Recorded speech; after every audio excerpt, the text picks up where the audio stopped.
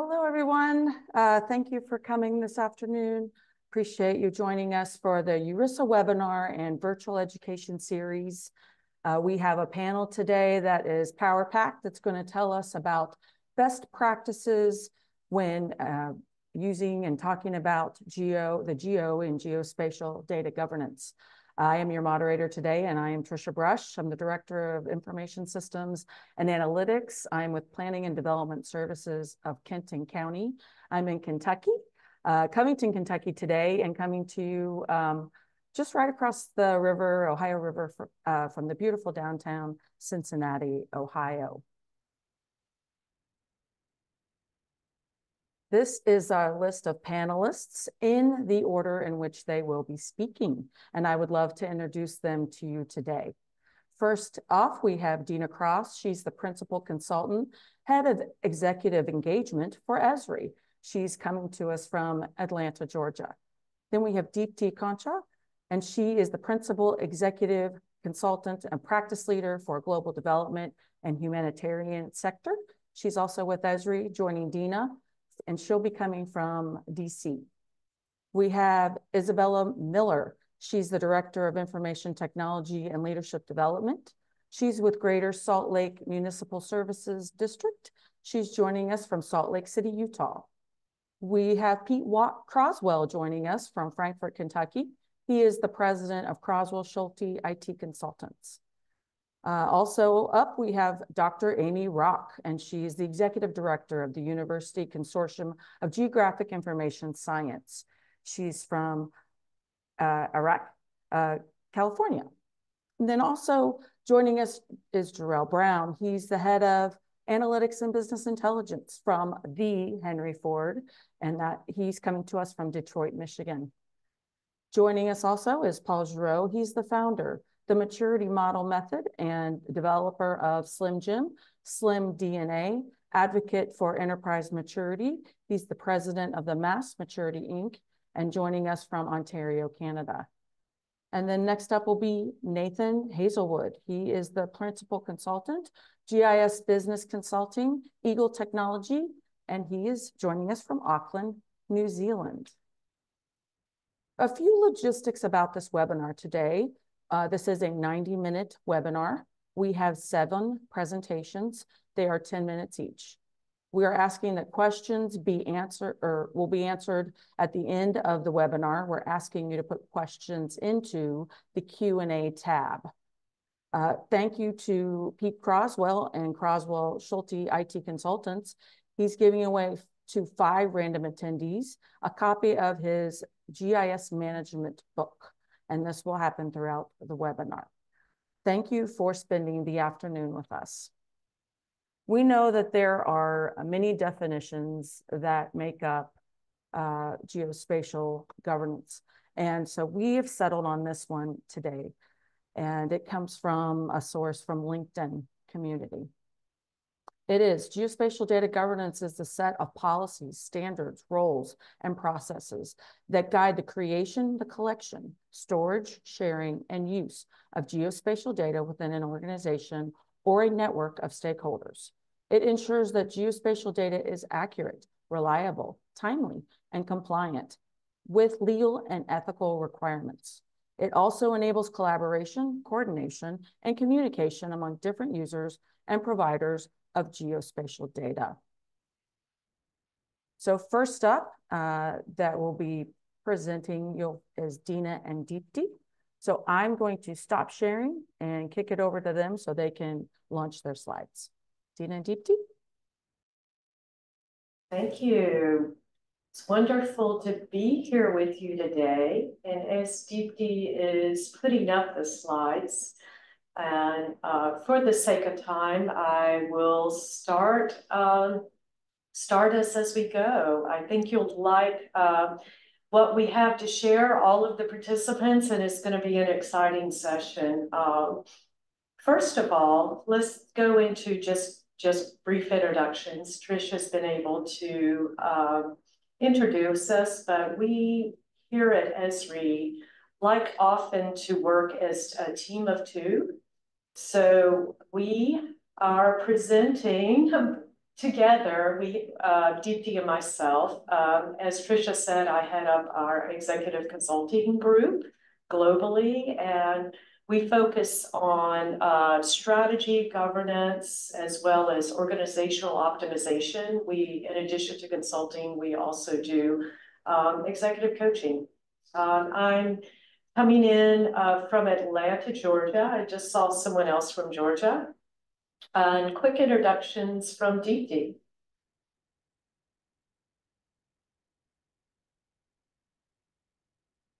You may be on mute.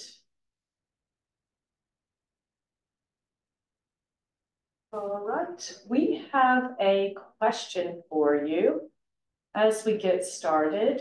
Um, as um, the our session goals overall and in are to just launch us um, and in terms of what's important and why is it important to have data governance and organizational governance. We often do the work um, side by side.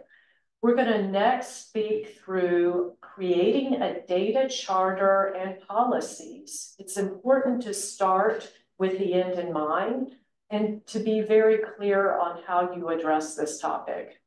Deepti will dive more deeply into the data life cycle. She has some great information there, and I'll conclude with the benefits of data governance. As you look at the next slide, we'll walk you through um, next what we're actually rolling out globally, which is what we call geotransformation. What we find is the most successful organizations, as they think about elevating the impact of their GIS program, tie together governance, these processes that ensure efficiency and use of the information technology and location intelligence, including data, strategy, which is the, the guiding North Star this is your vision and direction for your overall program and align it with adoption. That's ability to transform the organization in the most optimal way. Next, as we look into the elements, we often take a holistic view um, that's very complementary to what Trisha just shared with us and it is enabling that organization to achieve its goals. So you may say, how do you do that? Well, we start first of all with the overall objectives, the purpose, which we'll dive into with the charter, of course, process, people, performance, aligned again with the overall governance model and framework and that's comprised of these, what we call our pillars. That's business, governance, system, engagement, capacity. These pillars alongside the objectives marry up to provide an optimal approach. Next, as we move into, uh, many of you have probably seen this, but we really like to think about it holistically, like I said. And as you look at the system of engagement, the system of record and system of insights, we view this all together as a system of systems. And the best organizations, you know, as GIS changes and you move through being able to optimize your investment, it's important to be able to build trust. It's important to establish ownership and accountability. We also understand the need to protect your IP, those specific data sets or the way that you offer your services to whether it's a government organization or a private sector organization. The necessity of security to secure your assets, and then overall to provide that guidance on best practices and standards as you manage and grow and change and add flexibility into the system of systems, it's important to govern it all. Next, as we think about the overarching way that we structure it, um, I'll share with you just briefly um, a way to look at it and um, move forward, uh, I think you're going to um, talk about particularly how you establish the charter and overall govern your program. Over to you. Yeah, no, thanks, Tina. Sorry, I was having some Zoom challenges earlier, so couldn't speak up, unmute myself. Uh, so I'm back. thanks for that, uh, in powering through it. So, so going into beyond what uh, Dena was just saying. So when we look at governance, it's a holistic approach. So we think about governance as a full program governance in GIS and then drilling down from it. So we're looking at governance, whether it is data or anything that you're governing in your GIS program, you have to think about strategic governance, which is looking at your executive committees, your steering committees, which are in the management tier, and senior management here. And then operational governance, which is really looking at your working groups, your community of practices, and really providing direction coming all the way from the strategic tier down to the operational side, and then uh, doing the execution in the operational side, and then leading to some controls that get placed based on those policies, based on those practices to provide a full governance framework for your organization uh, that is creating uh, ownership, accountability, and trust in your organization that Dena mentioned earlier. And really the, the key function of the executive committee is to provide that oversight, provide those policies and, and, and resource allocation. In the middle management, it is really about the planning and initiative prioritization and uh, resource uh, uh, utilization. And in operational tier, of course, it's the day-to-day -day operations and maintenance and management of your work. So when you look at the governance, we, as Dena mentioned, we think about it in the in terms of five pillars. And where we look at the data governance, it really sits in the system systems part where it is uh, looked at from uh, architecture, security, data information products, your automation integration of data with other systems, your reporting and analytics you're doing, your web access, your business continuity, and so on. And uh, you can see different colors here. Uh, it's in the order of priority that our customers have asked us to like help them assess their governance. Uh, and uh, most of the time, people come to us talking to us about system governance, and that's where most of their challenges are. But I always emphasize, and Dena and I kind of uh, take this approach is take it a holistic approach. Do not just narrow your view on data and systems. Take a full holistic approach because in order for anything to be successful in technology, you have to take people and processes in play in, in consideration. Um, so I just for uh, posterity, uh, data governance is really set of rules, policies, and practices an organization will follow to ensure the data is safe, it's accessible, and it's just trustworthy. And there is a lot of confusion in our customer base. So I just want to clarify this for everybody that data governance and data management are not one and same thing.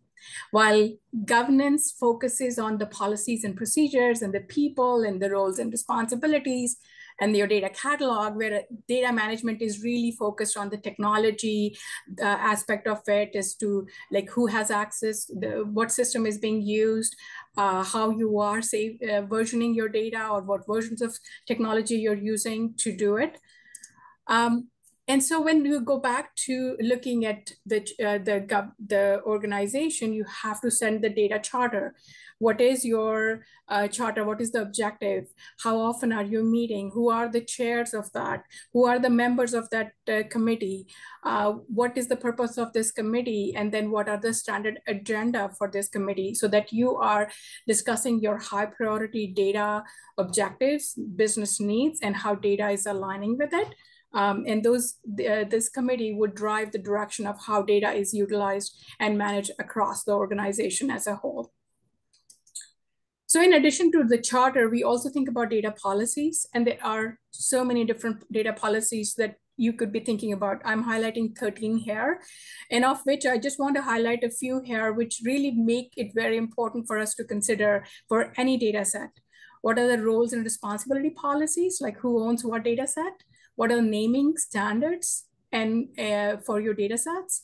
Uh, what are your metadata policy? How are you documenting any of and all of your data? Uh, how you are doing data classification? Because key to security of the data is classification of the data. Also understanding the data quality policies as to how good is good for your organization that you can make decisions based on.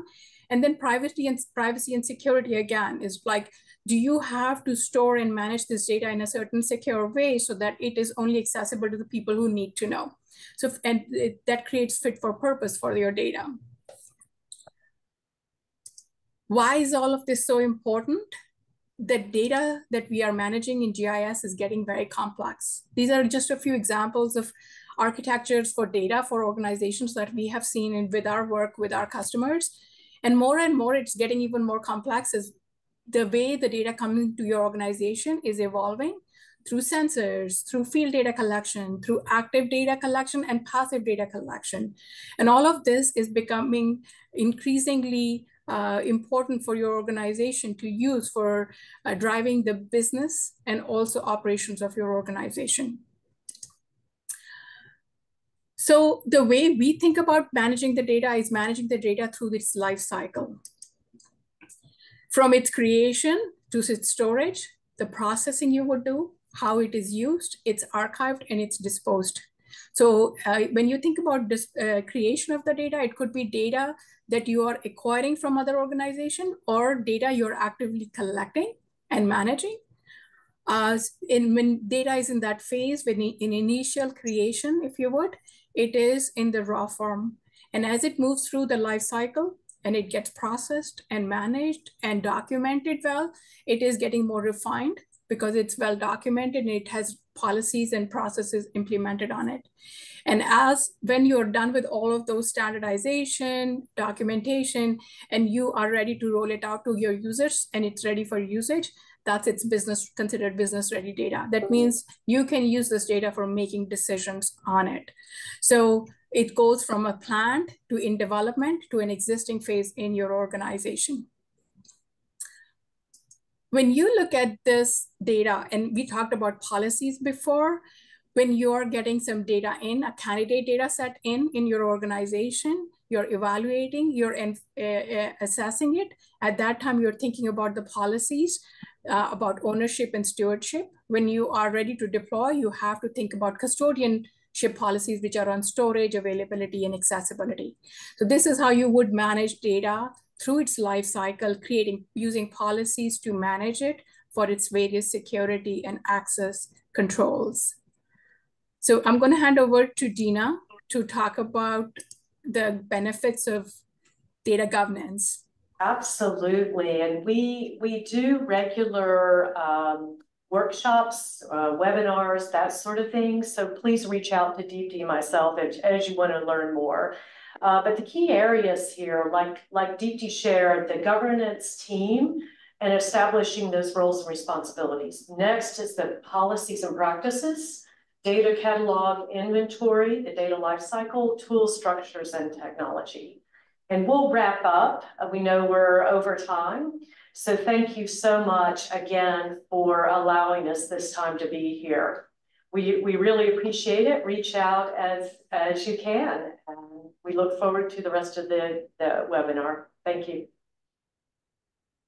Great job. Thank you so much, Dena and Deepti. We really appreciate you being here today and what a so much information packed into those slides. Next, we have Izabela Miller. So uh, we'll stop sharing from our first group and then uh, we'll get Izabela, uh, get her slides up so that she can start sharing. I believe that we also have a, um, Danielle was going to put up a poll so we could figure out who who's here in the audience today. What are what are your roles and kind of get a better feel for uh, who's who's here at the webinar today.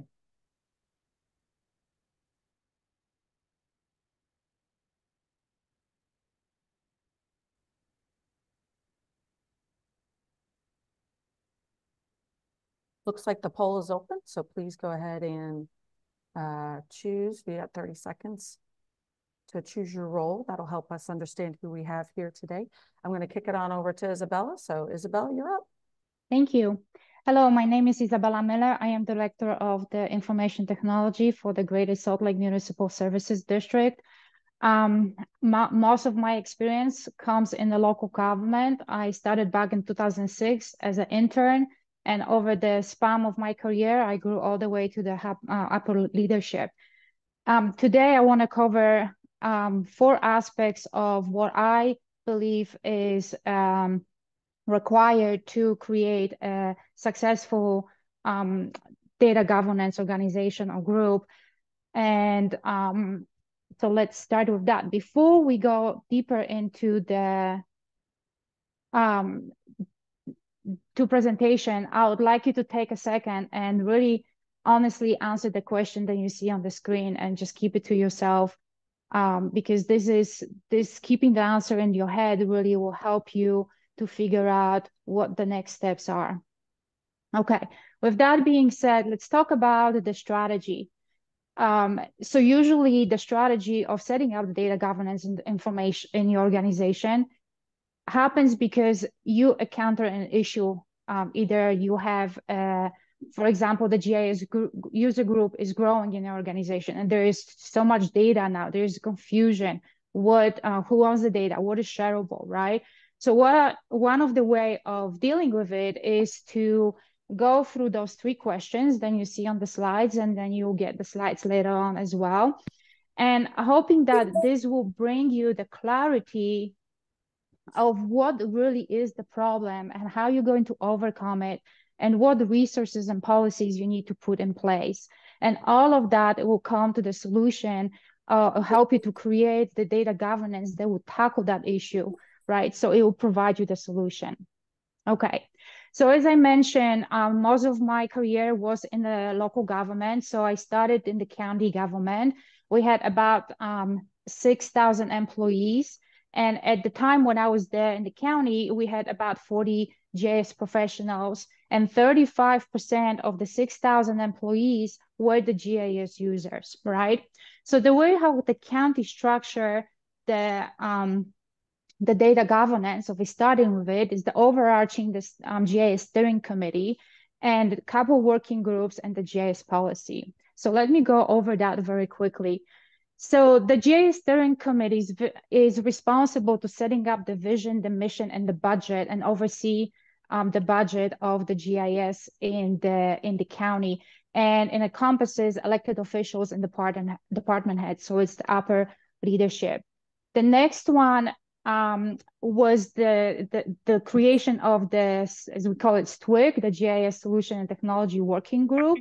And the reason why that was created because originally IT made the recommendations to the steering committee, but as the GIS um, grew within the county, we had more and more GIS professionals from different departments, and and we felt like they should have a say as well what the GIS should look like within the county government, right? So this, so that that working group was created, and their main purpose was to um, develop the strategy, set the goals for the uh, given year, and also provide the training. So that organization, that working group was oversaw, but uh, is is overseen, but either the somebody from the mayor's portfolio or elected office and encompasses GIS professionals and the IT group.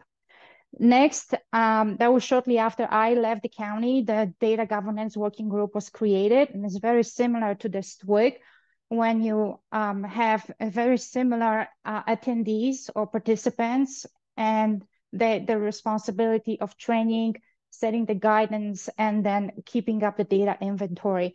As the GIS grows in the organization, those things are also important. And lastly was the GIS policy. So um, a few years ago, when I left the county, I went to work on the district, and you can see how different the the structure of the district government is. Right, we uh, have 100 employees, so it's much different than the 6,000 employees the county has. Out of the 100 employees, we have uh, five, G, five GIS professionals, but 80% of our organizations are GIS users, which um, it's it's we are very very happy about it. Um, we but it does provide it provides its own challenges, right? So the way how we structure our governance, we have the ITGS department, um, that is my group. We have um, ITGS user group, And also we have the GIS policy. So let me go over that very quickly as well. So the ITGS um, department um, that is led by me and I'm work very closely with the GIS and IT professionals and we are the responsible one to set up the vision and the mission in our organization. And we also make the recommendations to the budget um, to, to our upper leadership. Um, the next one is we do bi-monthly GIS um, IT user group when it's it's not just the GIS and IT professionals who are the leading um, individuals of it, but we also invite GIS users to showcase how they, um, not being GIS professionals, are utilizing GIS in our organization. So we found that very beneficial for other people who are maybe not as comfortable as using GIS or understanding the data, understanding the principle, the governance of that. So that, that kind of helps us to close the gap. So the main reason why we set up the user group is to guide, to share the best practices and to train the um, either existing professionals, the GIS users or the newcomers. And then the GIS policy, a um, couple years ago, we decided we need, as our um, GIS usage, usage group users group grew, we decided it was important to put some kind of policy in place that govern governance govern the um, the usage of the GIS, right? So the policy's main purpose is to guide, set best practices, and the structure over um, the growing GIS um, usage in our organization. So the leadership, together with the GIS professionals, together we worked on that and then we took it to our board of trustees for um, approval and and then for um, adoptions of that policy to make that legal. Okay, so throughout this organization, I don't know if you saw there was like a common theme. So there are three different audiences that we're talking about. We have the upper leadership, we have the GIS IT professionals, and then we have the users, right? Most of the time, what I notice in my career there is, we don't talk the same language. And because we don't talk the same language, we often have to have some kind of translator that we introduce to our organization, okay? So next one, next thing what I want to share with you is why we even talking about data governance today. In my opinion, there are pros and cons like to everything, right? Main one is to develop the common language, language that is understood through all three different audiences and other people than I than I may maybe forgot to mention. Um, make sure to we we the purpose is to make sure we share the da high data quality and we have a clarity on what we can and cannot share. We understand that there is a never-ending story. You think you finish with something, and then you have to start over again, right? So it's hard, it's time consuming, it's hard to track and so forth. So I want to leave you today with some tips and tricks from my experience on how to set up the data governance in local government. Understanding your why and why now, right? Knowing why do you need to do it and what changed in your organization then you actually now thinking about it. Getting the buy-ins. Um, one of the mistakes I made early on in my in my career is like I thought I was invincible. So I was like, I'm just going to set the data governance. And I fell short. Then I had to start over again and I had to go and get the buy-ins. I talked to other leadership, to other GIS users, to IT professionals, because what I thought in my head made sense, it really didn't for everybody else. So I hope you found that useful. Feel free to reach out to us with any questions. Thank you so much for having me here today. Thank you, Izabela. That was so insightful, and I love that you shared your your uh, story about um, you know trying to kind of going it alone, and then uh, you really needed to reach out and get the leadership's buy-in. So thank you for sharing that. Just as a reminder, uh, so up next we've got Pete Croswell. He's join us joining us by phone, and so I'm gonna I've got a slide deck here, and I'm gonna launch the slides. Just as a reminder, please put questions into the Q&A tab. That is, uh, we're going to take questions at the very end. So thank you. All right, uh, we're going to switch it on over to Pete. And now Pete, you can take it away. Trisha, thank you very much, and sorry for my technical problems today. Um, welcome, everybody. I'm Pete Croswell, and I've been in the GIS field for quite a while. Let's just say it's been over 40 years, and we'll leave it at that. Really started as a manual ink and mylar cartographer in the mid 1970s and then moved up into GIS as the technology matured. Currently, I'm president of Croswell Schulte IT Consultants. Um, I'm working on a wide range of GIS and IT planning and implementation projects for clients in public sector, utilities, and other organizations. I started my GIS career as an analyst and then manager of one of the first statewide GIS programs in the country in the state of Kentucky. And since 1985, I've been a consultant and also an ad, I'm also an adjunct instructor at Penn State University. Um, I've been a member of uh, since 1980. It's a great organization. As a board member and president, keep active in URISA program and events. So in keeping with the theme of this webinar, webinar I'm going to be talking about uh, concepts and practices associated with one aspect of, of geospatial data governance, and that is data quality and data quality management. Trish, go ahead.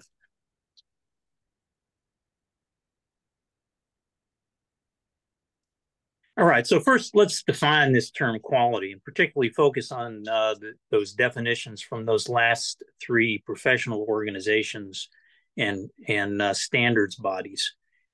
And let's go right to the bottom line. Trish, you can advance. Quality is um, defined in, in the context of uh, IT and GIS um, as the degree to which products and results or deliverables um, conform to stated specifications. So that means you got to write down the specifications. Go ahead, Trish. So it's good uh, in crafting standards and parameters for geospatial data quality in your organization to fall back on some of these key standards organizations that define geospatial data specifications and quality parameters and use those as a starting point to define what quality means for your program and your geospatial data. Go ahead, Trisha. So pretty simple so far. You can go to the next one. Another click.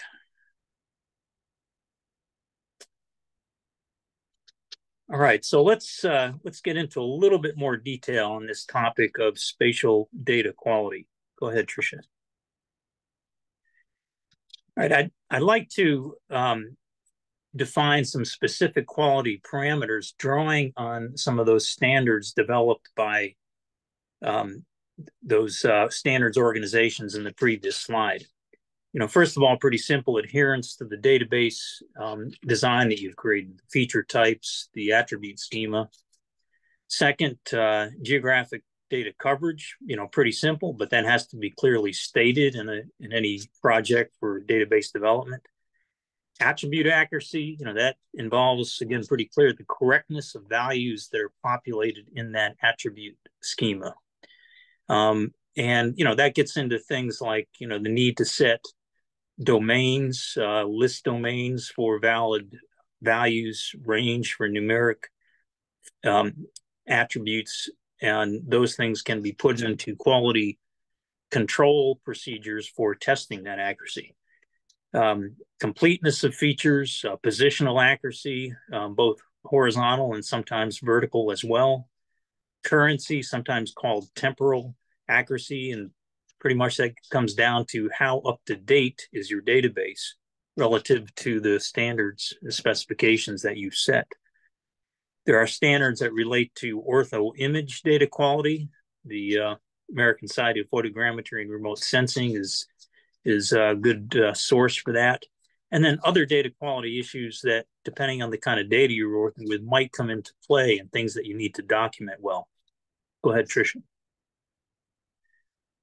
All right. So, um, you know, given the fact that data quality means conformance with specifications, again, you've got to document those.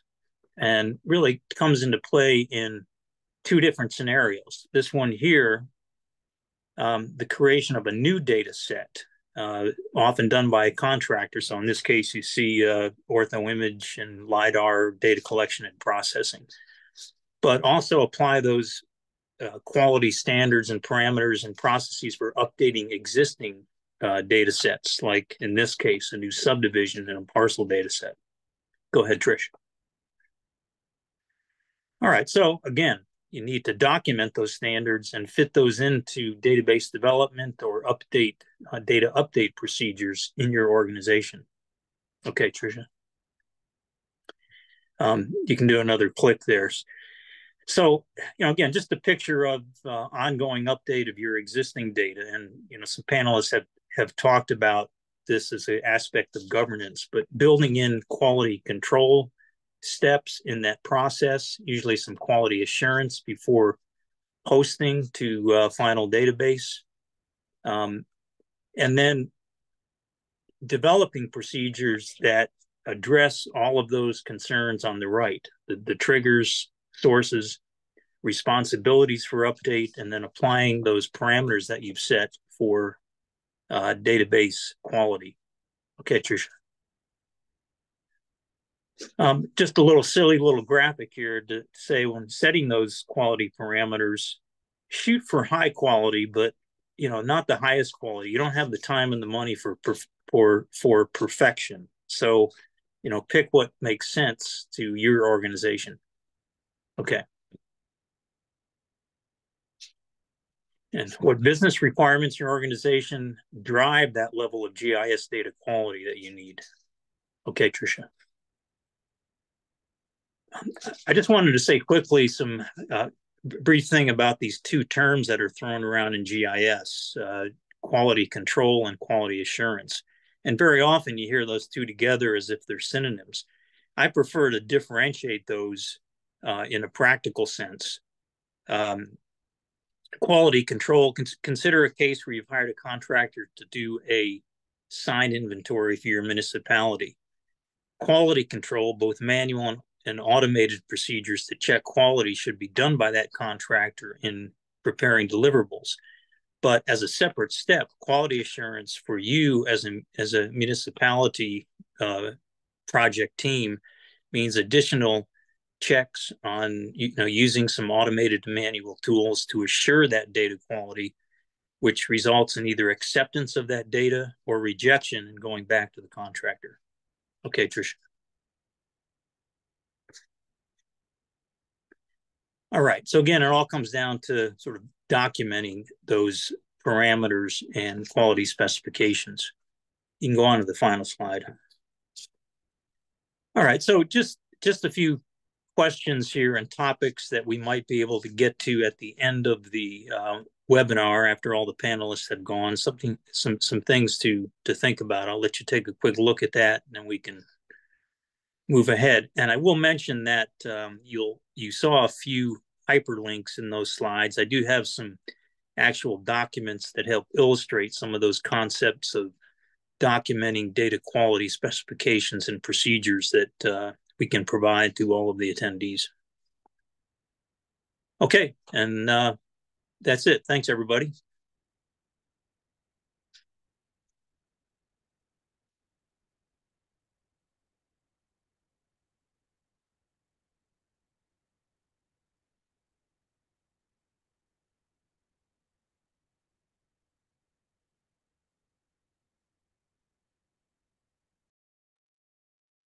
Trisha, I, I think you're on mute. I'm sorry. Thank you for whoever said that. Uh, thank you, Pete, for joining us and appreciate all your insights. And I know you had some technical difficulties, but thanks for hanging in there with us. So, um, and appreciate you uh, giving away the five uh, digital books that you have for the GIS hand management hand handout handbook. All right. Next up, we have Dr. Amy Rock. She will be joining us and adding her slides. Amy, you're up.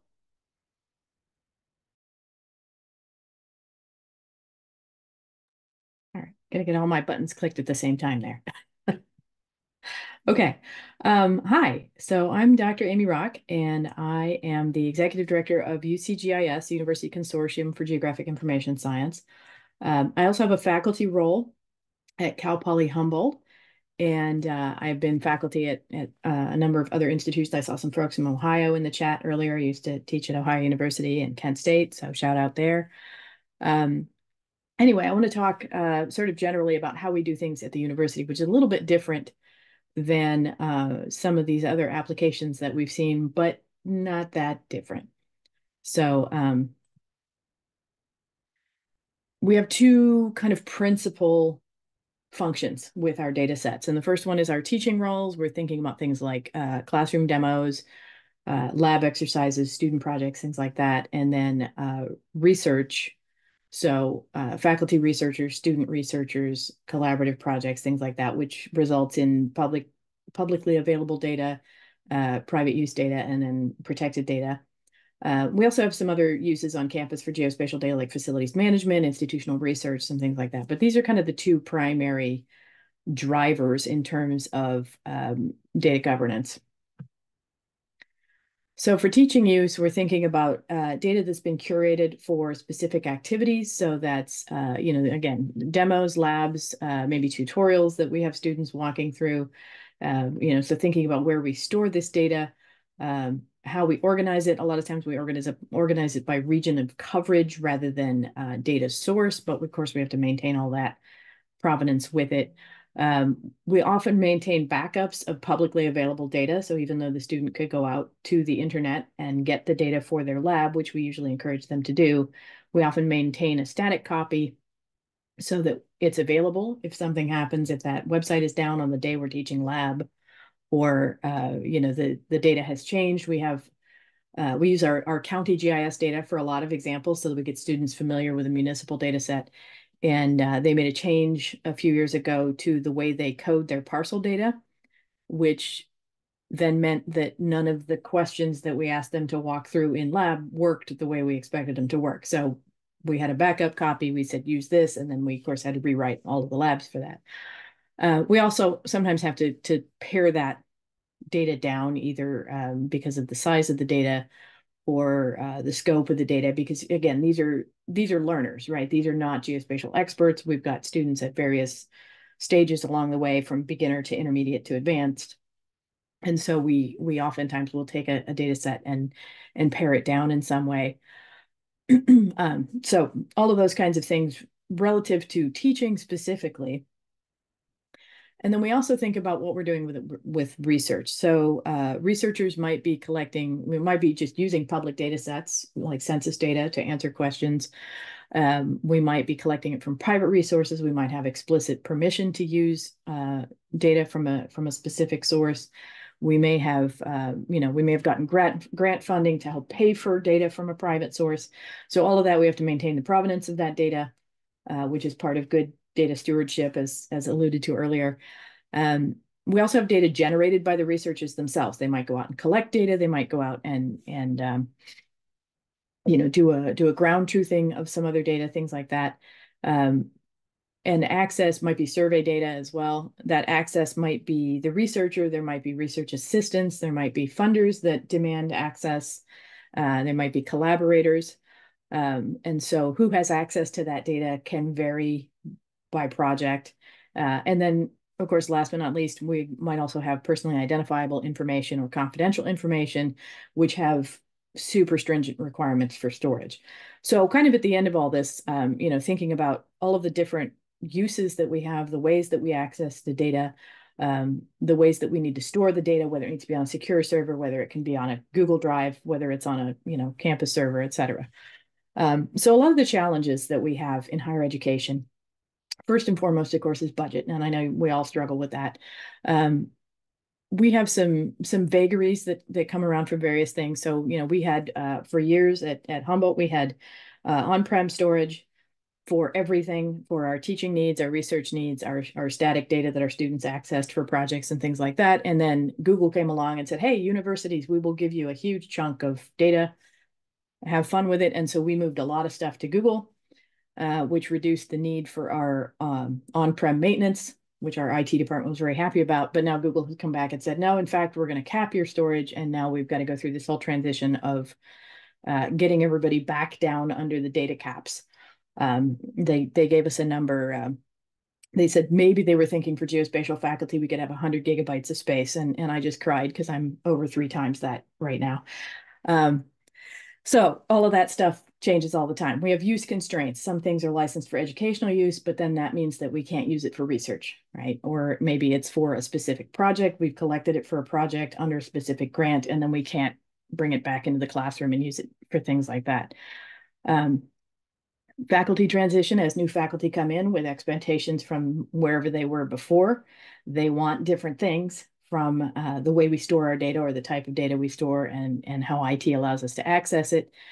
Uh, as our students graduate and move on, how do we uh, how do we allow them to take their data and their projects with them? Um, you know, that's something, you know, Google Drive allowed us to do a lot of that very easily, but we'll have to think about that as we move forward. And of course, if it is protected data, then the whole the whole equation changes. Uh, and then IT policies. Of course, we have a um, Izabela mentioned steering committees. We have a steering committee. Uh, we have an IT geospatial IT working group that we get together and we talk with our on-campus IT folks. But even so, as their policies change, or as I mentioned, the Google Drive example changes, um, are we're part of the California state system, which is the largest university system in North America. They issue edicts that affect how we store stuff. Um, there might be statewide policy changes, right? This I've taught in multiple states, and the, the policies are different in each state about how we do this stuff. So every time those change, then of course we have to come back and, and revisit this whole process because we are not the only decision makers in this equation. So how do we support all this in higher ed? Um, as institutions, of course, we try to curate as many best practices as we can. Um, UCGIS helps support some of that. I'll show you an example here in a minute. Um, we have the uh, GIS&T body of knowledge that we maintain that has um, peer-reviewed pieces and, and uh, articles and tutorials and things all in it. Um, we try to educate stakeholders as much as possible. We recommend steering groups, uh, advisory groups. Most um, most community colleges and some four-year institutions will have an advisory group that consists of faculty members and then outside GIS professionals, uh, and then also administration. um, you know, we put together white papers and webinars to help educate, like like this webinar here. Um, we can do case studies. We also love to hear those things. So UCGIS, we also try to foster a lot of industry academic partnerships so that we're learning from industry what their best practices are and how can we translate that stuff. Uh, I think a couple of the presenters after me are going to talk a little more about some of those practices and, and, and the GSPIT collaboration thing. Um, this collaborative planning is huge. Uh, you know, we had an example. Um, I was working on a on a project with uh, some researchers at the University of Alabama. They changed their policies on data storage, and suddenly we lost access to uh, just an absolute ton of data. Uh, we have you know, we had to scramble and work with their IT and our IT and, and get it all together and get it from a backup and, and restore it because they had changed their storage policies. So a lot of that just requires communication and, and conversation. Uh, you know, the, the one of our local communities has a two terabyte LiDAR file that they would love for us to store because they're not going to provide it on their website, but they want our students to play with it. And our IT department freaked out when we said we want one file that's two terabytes. So just you know, being open and communicating and, and keeping those conversations flowing about the, the needs and the changes and things like that. Um, so just quickly before I'm done here, I wanted to uh, show you all this, this website. So this is the GIS&T body of knowledge. Uh, as I mentioned, this is a sort of a peer-reviewed piece. Um, and it's interactive and it's dynamic and it grows and it changes. It's it's a living document for sure. But I just really quick typed in governance here, and you can see the the URL here in the corner for you. I typed in governance, and it gives me a topic on governance and agency, and I can click view, and I can drill down into that. Uh, it shows me that it's part of the larger topic of GIS&T and society. Um, so these are all linked together, connected, uh, interactive, and all of that stuff. So that's a great place uh, where you can look up some of this stuff like I said, we also enjoy collaborating with industry on webinars and, and white papers and things like that. So that's all I've got for you. Thanks very much for listening. Thank you, Amy. We appreciate your perspective, especially from a higher education and all the challenges that you uh, have experienced. I think that all helps give us some insight to what you are dealing with. So thank you so much. All right. Well, next up we have Jarell. You want to share your slides and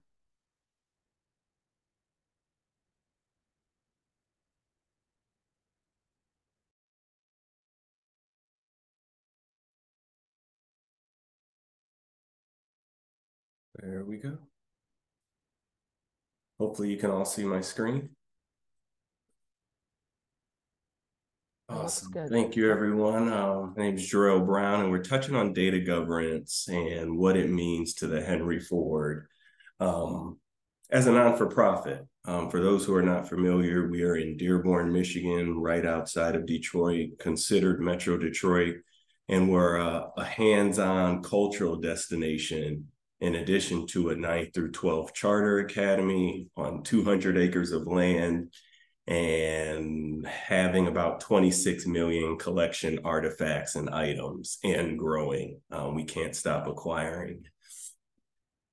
Um, you know, and so the one thing I want to say here is it's not unusual for a cultural institution to adopt GIS and leverage the data governance, but it has been very beneficial to us um, as we attempt to be a leader in the space, building on our analytics, business intelligence, and adding GIS as a stack. Um, so it has to complement. So a lot of themes um, and terms and principles that everyone mentioned prior to me are consistent and really what we lean on and look towards um, in terms of building and growing our GIS strategy and team. Um, full disclosure, our team is a team of two, myself and a full-time GIS analyst, in addition to a paid intern through our diversity and equity internship program. We have that about 40 to 45 weeks a year. And we need that to support our growing needs and capabilities and to continue to be consistent um, with our GIS strategy and then how we govern, grow, maintain it. And so these are our six core businesses. As we mentioned, we're a cultural destination with about 1.6 million attendees every year. We run signature events that come from all over the Midwest area from attendees. We have a charter academy and we have a digital learning and virtual engagement environment, as well as very beautiful weddings, convention events. So if you have an event or you're coming to an event in the area, um, stop by. But you know, data governance, we've already had to implement it um, in the six years I've been here and um, in the development of our IT team. Um, but you know, it, it really comes down to justifying the need of how GIS and governance is applied from um, across all the core businesses um, by looking at the systems, the data, and then the resources that we'll have. And we do this and we govern, and this is how we justified it as it relates to our um, strategic goals and our future sustainability of allows us to develop capabilities and functions with identifying the three key ones and then always having space for future ideas and innovation. Um, one key term that we're going to say is flexible and nimble as it relates to the Henry Ford and as we're learning um, and growing because things change at such a remarkable pace. Now, as it relates to all these governing systems, we have to put them through a central unit, um, enterprise resource management as it relates to capabilities, a hub that processes and cleans the data. So, you know, one entry point, multiple entry points out. Um, there is a loop not shown in this, but I thought for this visual and this um, conversation, we could keep it simple with just showing how it processes through to capabilities. And we can't do that consistently un- un- and aligned without data governance, without looking at the audience that's going to be leveraging the GIS data, the cadence that we need it at as a cultural institution, a destination, and a mission fit organization and what collaboration do we have to have? So there's you know these principles that I've mentioned prior, but at the end of the day, these are all complementary aspects to how we manage our organization in addition to other organizations. Um, we it was key to identify the roles of each core business, the role of each data source that we showed prior, and then the impact it has on the four bubbles that you might have seen, and then the impact we may have for the future. But this is all aimed at aligning. I think um, we had seen that there should be executive championing, um, there should be strategic um, prioritization of GIS and data governance into the institution. And, you know, we would second that because since then we've been able to grow in the projects and some of the services that we've been able to offer as a mission fit organization.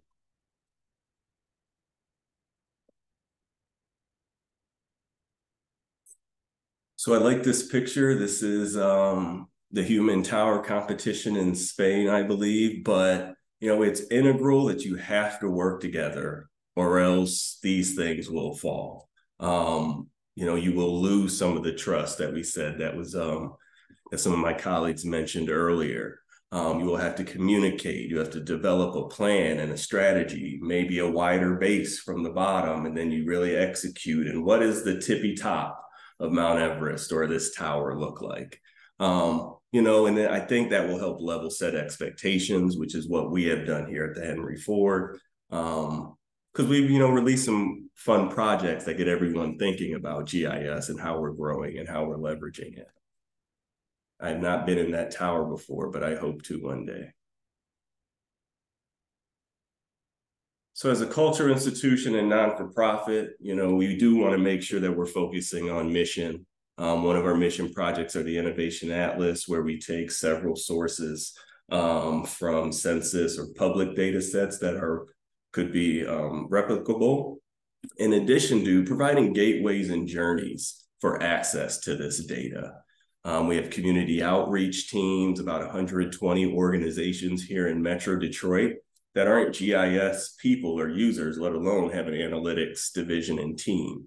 Um, so that's one way um, we brought in and think about audiences and cadence. And then we bring in food sustainability, really leveraging public sources so that we can um, bring in the same governance and standards as some of those, and the governance and standards of some of the partners um, that you may keep partnerships with their data as well.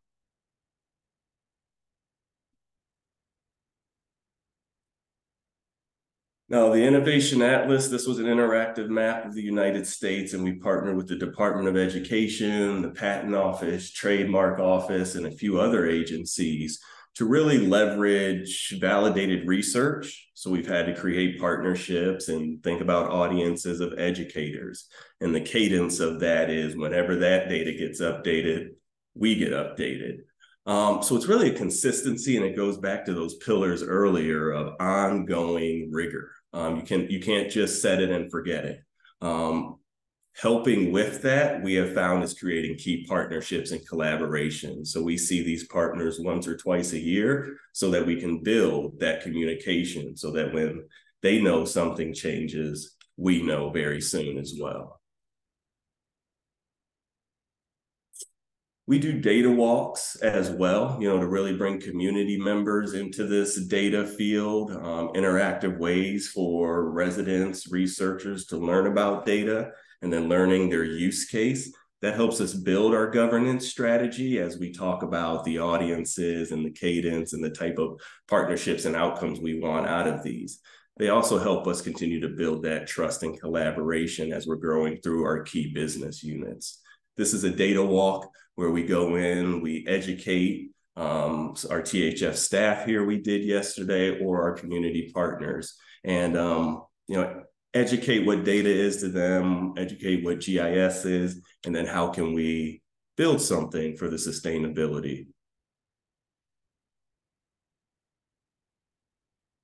And then again, we build impact stories, you know, again, and without the structure of permission based security that Esri was mentioning earlier, um, industry standards that we see from this great community and ecosystem, um, we're not able to duplicate and help support, you know, this industry but these are just some of the ways where we truly just think about, again, audience, cadence, and collaboration.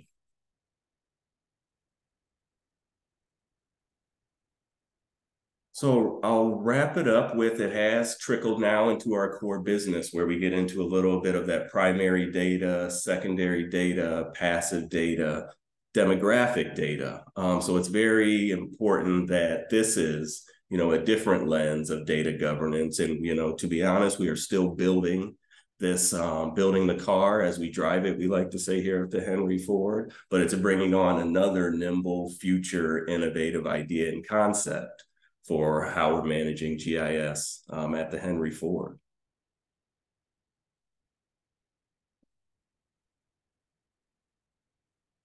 Thank you, Jarell. Uh, really great perspective from a non-for-profit and, and definitely curator of much, many data, many pieces. Um, so thank you for your perspective and really appreciate uh, your graphics were great. I love that tower, human tower. That is how it feels, is you need everyone to support you and, and hold you up. So thank you so much. All right, so now we're gonna kick it on over to Paul Giroux.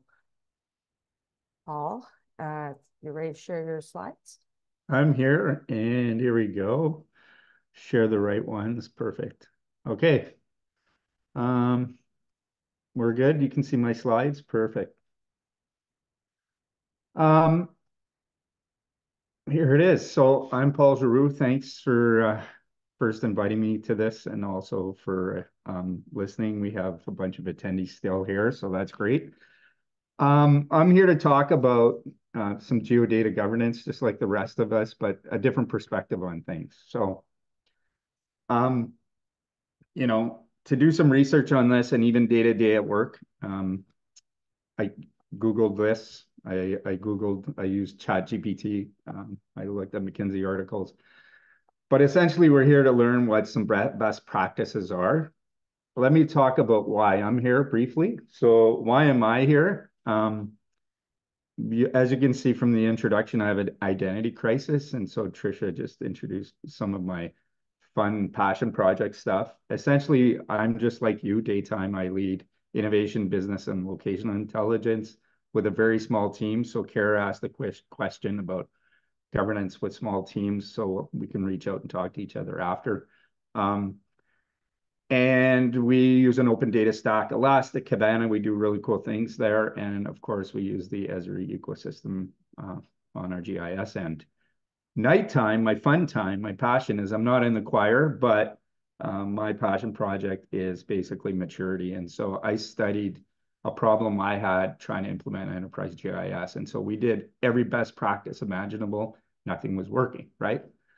And um, from that grew Slimgim, which you may have heard. It's just the enterprise maturity model. And that since has grown and expanded. And there's variants and it's in Arabic. And it's interesting where that project has gone. But I'm not a consultant. I'm not chasing a dollar. I'm just trying to empower leaders uh, with a better way to do strategy because my ultimate purpose in life, I think, is to disrupt how we do enterprise strategic um, planning, right? I don't think uh, it's relevant anymore. So in terms of data governance, let's go and look back a little bit. So the warm hug of data governance, the list of things we should be doing, the best practices that we're learning today.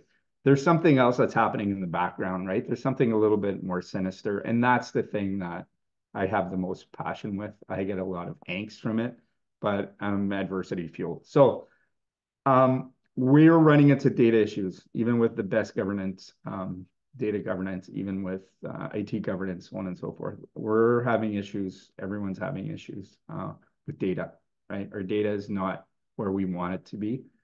Um, and so I'm here because for the past decade, since I've come up with the model, basically, I'm helping peers model what their actual enterprise maturity is and I've been helping them align to reality and then perform. So that I've been doing on lunch with peers. There's really, really good group of peers. Izabela's one of them. She's uh, she's a rock star when it comes to maturity, and she's been using it for a long time. And so the issue that we have then um, is how do we understand these? Let's call them ghouls in the back. So for me, it's like that's the head, the heart, and the body. Okay, and for me, with the um, approach we've taken is we use a model. So now there's a new one, SlimD&A, so data and analytics, which is just a variant, a small twist on the Slimgim model, which is uh, enterprise geospatial model. And it allows organizations to actually measure um, their health, their impact on data quality, right? So this was the beast that was written way back in the day that it all stemmed from. And it studied that issue as there's rules here that we have to deal with, right? It's groups of people, it's our capabilities and stuff. And so it stems from enterprise data, and that's where the model's a little different. I came at it from the data enterprise data perspective, um, and then we just kind of gave it the geo flair to it. So it wasn't a very GIS myopic model. It's a very data centric enterprise model. Okay, and the head, so to speak, is your leadership, like the mindset, right? The culture, and those are really important because are you trying to do put data governance um, in practice? in an organization that you just don't have the right support for, well, the odds are stacked against you, right? The other one is, and the heart, what I call is, is process orientation. So this is the thing that pumps your data. This is the most important part is the process orientation. So again, you could have good leadership and they're saying, hey, everyone, get on board with data. We're making data-driven decisions. Use GIS to guide us strategically moving forward. But if the processes in the organization are not well documented, centralized, so on and so forth, it's going to be a tire fire, right? It's going to be really hard to manage your data if you don't have custodianship set up. No one understands their roles, responsibilities. No one's participating in stuff. And then finally is kind of the body. This is more of your capabilities itself. Can you sustain an enterprise uh, GIS or enterprise data and analytics program? And do you have the right foundational data and technologies, right? Are you modern? Are you current? Are you integrating? Um, do you have the right um, actual administration to do that kind of stuff? So Deepti had mentioned the holistic enterprise. Well, we can, we've, you know, you can Google stuff like I've done. ChatGPT will give you answers. Great to have a bunch of checklist of items of things we should do. Our group of peers, we like measures. We want, we like results, right? We want to find answers, and that's where the model is really, really important is it gives you a true holistic enterprise thing, not just a laundry list of tasks you should do or some really in, good insights you get from an article, right? So I'm going to show you really quickly so you understand what I'm talking about, these factors, and then you can tie this back to everything that everybody's already talked about and just imagine these have a measure to it, right? Like from one to five, okay? So I'm going to flip over here, so just bear with me just to go through, and I'm going to rip through them really quick, so I apologize, but um, this will be uh, released shortly, this model. It's in use now in places like City of Barrie, Hamilton uses it. Um, it was uh, developed out of oil and gas, okay? Long story short. So success factors, okay? So the original Slimgim model, uh, hopefully you can see that okay. Let me boost that a little bit. But I'm going to read a couple of for you. So GIS data promoted by leadership, formal GIS governance is established, senior management learning, okay? What I want to show you is the data and analytics because it's data and analytics promoted, formal data analytics governance established. It's the same factors, okay? Slimgim, even though it's GIS specific, it was designed for enterprise data. And so I'll go through and read some of these um, so you have an understanding that if you measure these success factors, you actually start understanding how you can actually start targeting improvements in your organization, things you have to start to implement, right? So you can actually have a good quality um, data practice. So things like formal data and analytics governance. Uh, the senior management's learning about this stuff because if they're not, are you going to get by, right? The departments, are they cooperating? Are they getting rid of, helping you get rid of uh, duplicative efforts? Uh, are your projects aligned with a vision? And these are from the oil and gas company as, do you have a data literacy uh, program? And is it value of data evangelized? That was important, right? Uh, enterprise strategies are all aligned and uh, we can go on and on, but now we're getting into more of the heart, which is like your customers trust the integrity of your data, your staff are process minded and they value process, your goals are shared across um, silos, your process documentation is standardized and central. It goes on and on. These are just the data specific factors. So if you look at the model, this will be a really indication, really good indication of where you are now and how well you're going to do when you're going to start implementing the recommendations of the panel. So we'll go back to the slides here because I'm running out of time.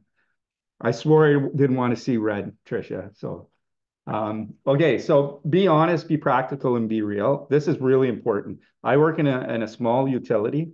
And so we have to do, do scrappy governance. We have to not govern with a bunch of best practices. We just don't have um, the cycles to do it. So you all have organizational health issues that impact uh, data governance. So be honest, but institute change in the context of your reality. A model will be good. Okay, I'm partial to Slimgim, obviously, but there are other great models out there. Um, and then just build data governance muscle. Start small where you're going to have the best and the most impact and you're going to get success and start building and use the model iteratively to move you forward. So nuggets, Trisha asked for some nuggets of knowledge. One is just align your data governance effort to the actual reality of your organization, right? Um, two is adopt a really good enterprise maturity model. So something that's going to look at enterprise data and really go from the top of your organization down through so you can see all the real problems and then be pragmatic and strategic, right? So just strategy, big strategies, those are gone now, like focused roadmaps, get on it, and then just be really practical, uh, practical about it. And so that's it. I was trying to get it in on 10. Um, at 10 minutes and 16 seconds, I went over. Um, and this is how you get a hold of me, best ways, LinkedIn. So thank you for that. Thank you so much, Paul Giroux. And uh, next up, we have Nathan. Uh, Nathan, you want to go ahead and share? Sure, thanks, Trisha. Um, so uh, uh, my name is Nathan Heazlewood, and I am from Auckland, New Zealand, which um, on the US uh, template slides that they sent out to me, um, New Zealand is not actually on, on the map, which we are a bit used to, but um, hey, URISA, we're down here. So um, yeah, uh, we get we get that a lot. Um,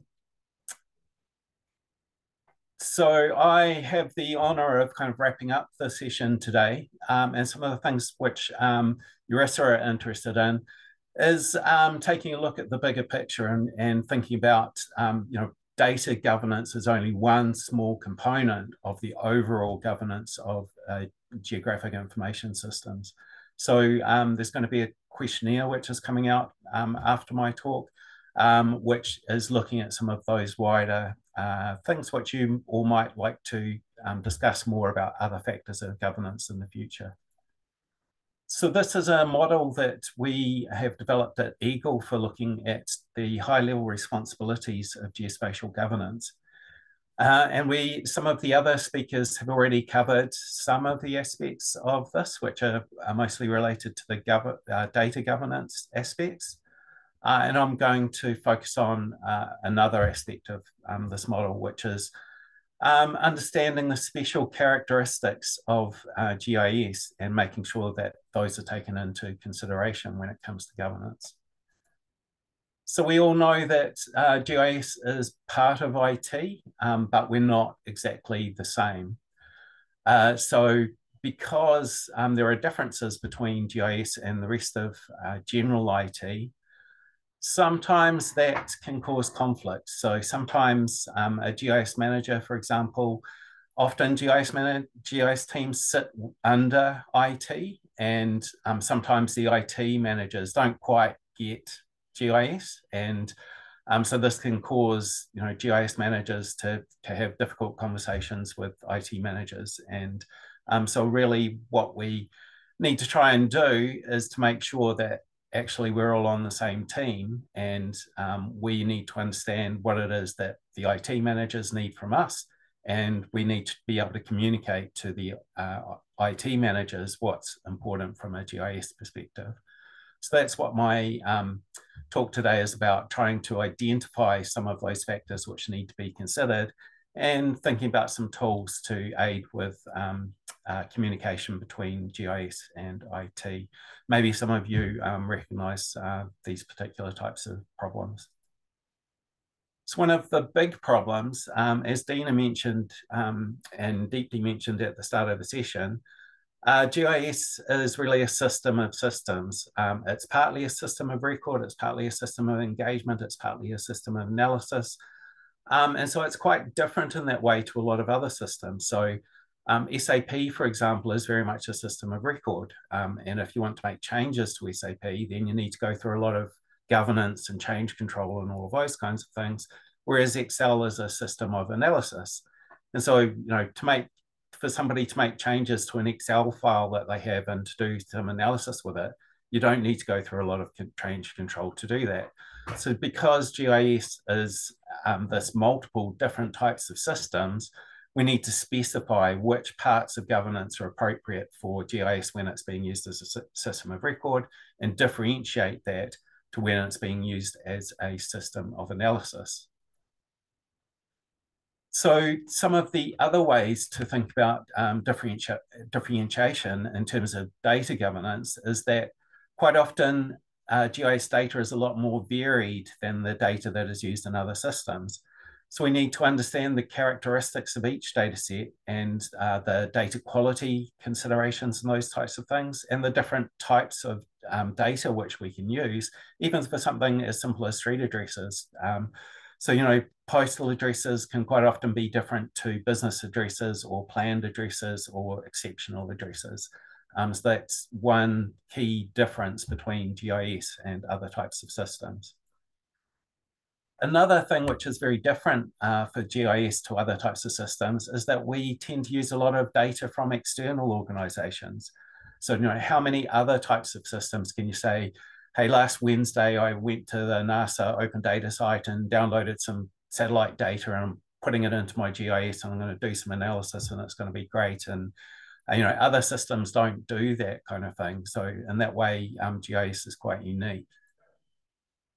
Another um, key difference between GIS and other types of systems is we deal with a lot of big data. So if you think about um, LiDAR point clouds or satellite imagery, you know, some of those things can be really massive data sets um, compared to your normal text and numbers types of databases. Also, we deal with a whole lot of different um, data types. And so um, you know, understanding the differences and the strengths and weaknesses of all of these data types. Um, you know, a lot of other types of systems are just dealing with you know, ASCII text and um, in particular uh, you know, XML formats and that kind of thing, which we need to do as well. But we also need to be able to accommodate a whole lot of other different types of data. Another key topic for um, governance is monitoring the evolution of technology. So um, these are some of the high level uh, areas of evolving technology which are relevant to GIS, which I've put into that grid there. I know there isn't time to sort of look at the details of all of that in this session today, but you can take the slide away after this and um, look at how uh, your organization might be wanting to grow and adapt into some of these um, areas of advancing technology, many of which are relevant to uh, to data governance. Of course, a key strength of GIS is integration with other systems. And this is uh, you know, important from a data governance perspective to understand the nature of the data in those other systems and making sure that things happen like um, somebody doesn't make a change somewhere which is going to affect your um, GIS implementation or vice versa. If you're publishing services and things and you decide to change a a field name or, or cha change details of your data, you need to be sure that um, understanding what the integrations are, what you're using your data. There's also specialist concepts which are unique to GIS, which we all understand as GIS professionals, but a lot of other people don't understand. So things like um, map projections and coordinate systems and um, the conversions between those and the losses of data accuracy when you do that kind of thing you know, it's really only us GIS specialists who understand that. So we need to be able to communicate that to other users. One key strength of uh, GIS personnel is that we tend to understand the risks of using different uh, GIS data sets a lot better than other people. So you're not understanding that, um, what data is going to be used for. And if you have a data set of things like um, underground electricity cables, then understanding how accurate that data is and whether it can be used for certain purposes like digging, um, you know, that's a really important risk for um, which we understand, but a lot of other users don't understand. So that's a really key governance issue. We also tend to do a lot of um, data sharing and have arrangements with a lot of our colleagues in other agencies. And this is, again, something which is quite unique to GIS. And we also need to understand um, from a governance perspective, supporting our staff and our people, our GIS people, we tend to have some characteristics which are a bit different to other IT professionals. So a lot of GIS people, we've come from a ge geographic background, and we're quite interested in, in environmental issues and saving the planet and those kinds of things, and also in social inter interests and volunteering. So I've uh, summarized um, all of these concepts in a, in a page which you can take away, or there's a QR code there to go to an article which will give you some more detail. Just to wrap things up, uh, a couple of events coming up if you're interested in these um, GIS management or governance or leadership uh, topics. Um, at the Esri UC this year, there's the um, GIS Managers Summit, which is on the Sunday before the main conference. Um, so if you want to attend that session, a lot of the speakers today uh, will be speaking again at that conference. Um, so there's some details of that there, but book your flights a day early to come along on the Sunday. And also um, just like to give a really big plug for the uh, URISA GIS uh, Leadership Academy, um, which covered a lot of um, these topics today in a, a great deal of detail. Um, I attended in Santa Rosa a couple of years ago, and that's a fantastic uh, offering from URISA. So uh, make sure to look out for the next sessions of that. And that uh, is everything from me. Thank you, everyone, and um, hope you've enjoyed um, today's session. I'll hand you back to Trisha. Thank you. Thank you, Nathan. Uh, please, everyone, if you can use your reactions to give a round of applause to all the panelists or hearts or whatever you think is, is best. We're now going to go into, uh, it's 422. We're going to go into questions. Uh, if you have any questions, uh, please put them in the Q&A. Uh, I have, uh, Danielle, have you seen any questions? I think there is one for Looks Pete, one. um, if Pete's able to respond, and that was from Kara Atta, who said that, uh, who wants to know about um, I'll read it out. It's hard to find straightforward ways to actually score or rate simple polygon data sets for quality and accuracy. How do you report it and what unit of measurement? Do you have any formulas or tools to be able to help with that, Pete? Yeah, actually, uh, I don't know if Kara's still on. I just got an email from her. I know her very well. And I, I sent an email back to her, but I, basically I said answering that question is pretty involved. It would take some time, but the, first part of that is um, you know, identifying what quality parameters about those parcels are important to track and then figure out, figuring out what level of quality for each of those parameters you need to be concerned with. And then establishing quantitative measures if possible, like 99.5% uh, accuracy, you know, attribute accuracy. And you can do the same kind of thing with positional accuracy you know, and then come the processes and methods and tools that you use to check quality, whether you're doing, you know, a major data collection effort of parcels or just updating, you know, an, an existing parcel data set. There are some commercial products out there like the Esri Data Reviewer that can help. Um, you know, some in-house tools, and again, the manual checking process, which could, in some cases, mean going out in the field and doing some uh, checks, particularly for um, you know positional accuracy. So, Kara, you know how to get in touch with me if you want to explore that a little bit more. Um, let me know. We can talk. Does anyone else on the panel have an example that they'd like to use to also answer that question from Kara? Uh, just one tool that might be a bit useful is the um, data Data Management Association DAMA DMBOK, which is the um, data management body of knowledge. Um, that's it's very general IT um, resource, so it's it's not really specific to GIS, but it does provide a useful list of some of the criteria that you can use to assess data quality. Um, so there's things like timeliness, uh, spatial accuracy, attribute attribute accuracy, um, fitness for purpose. Um, there's quite a useful list of headings in there that you can at least think about. Right, these are the things which I need to test for, and then, as Pete said, you know, develop the specific test for that specific um, criteria of the data that you want to look at.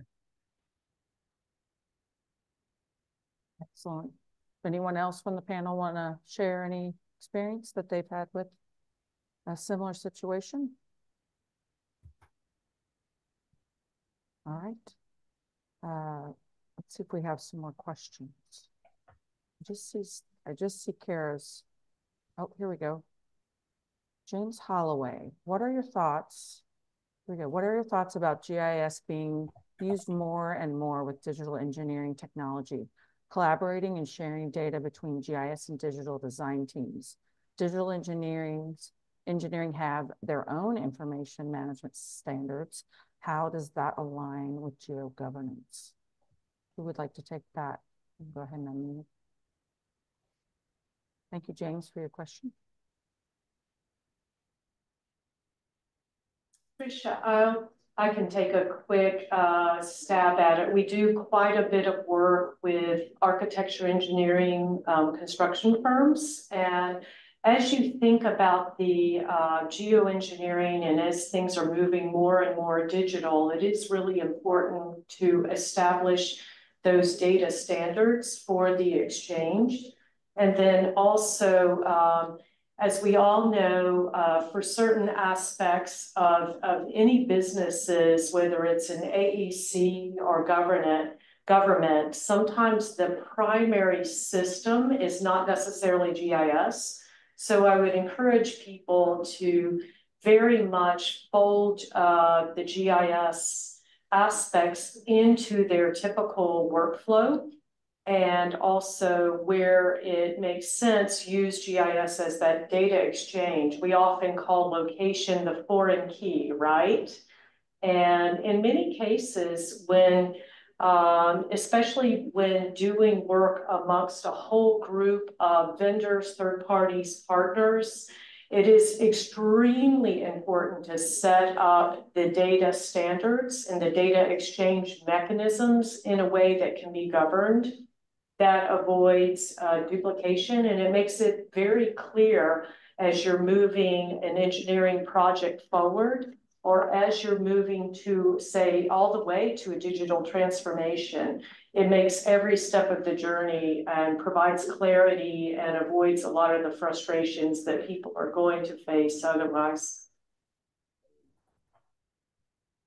Thank you. Trisha, I've got uh, just one more comment on that. It's it's not really an answer to the question, but I'll point out one issue that comes up when you're looking at um, bringing uh, civil engineering data into GIS. Now, software tools, you know, particularly Esri and others have done some pretty nice things with integrating the data. But one of the problems that I've seen is that many times that engineering data, that geodesign data, CAD data, whatever you want to call it, um, does not have spatial coordinates. It's sort of like in this particular project area, the Earth is flat.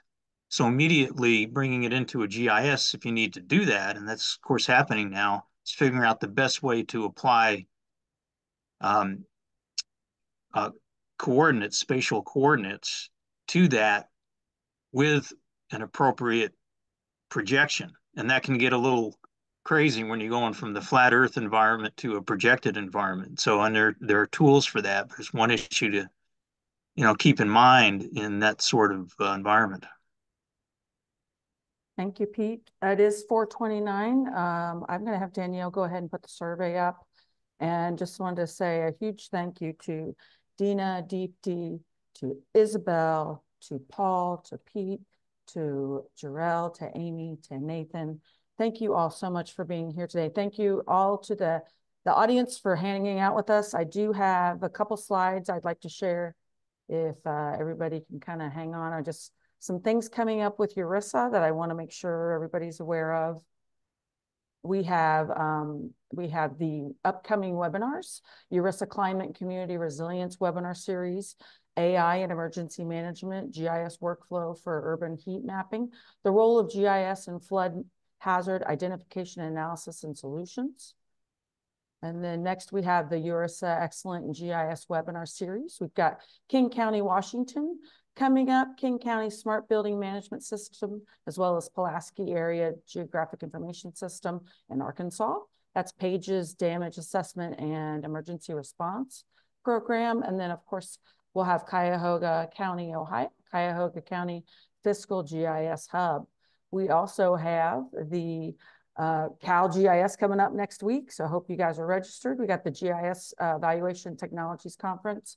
That's in April. Then you'll see uh, GIS leadership like Nathan plugged uh, in Seattle, Washington in June. And then we'll have another one in Fort Worth, Texas. Then you have to absolutely mark your calendars for the 62nd, 62nd GIS Pro. And that's in Portland, Maine in October uh, 7 through 10 and hopefully everyone can make that. Uh, thank you all, and we will have some surveys going out and some slides going out. Thanks for joining us, and have a great rest of your day. I appreciate you all. Thank you. Bye, everybody. Bye. Thanks, everyone.